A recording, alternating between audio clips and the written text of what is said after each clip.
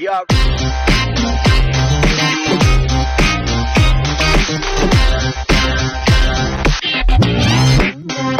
So, so good. Hey folks, welcome back to Beyond Seclusion. And today I'm gonna do a deer stalk. And as you can see, I was successful. There is no better rush, um, more challenging hunt than stalking a deer. I had a head camera on. I'm gonna take you on the hunt with me. I've been chasing this gal around all morning.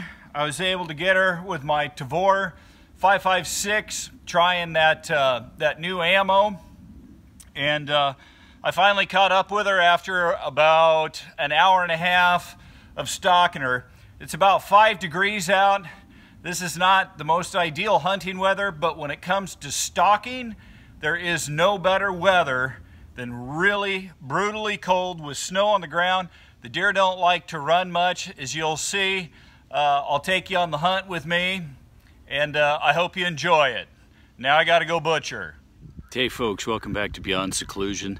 Today we're gonna do one of my favorite things to do, which is go stalking.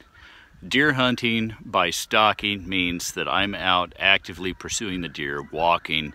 Um, I've got my Tavor with a suppressor on it. I've got just some really cheap military camo that I have found works great.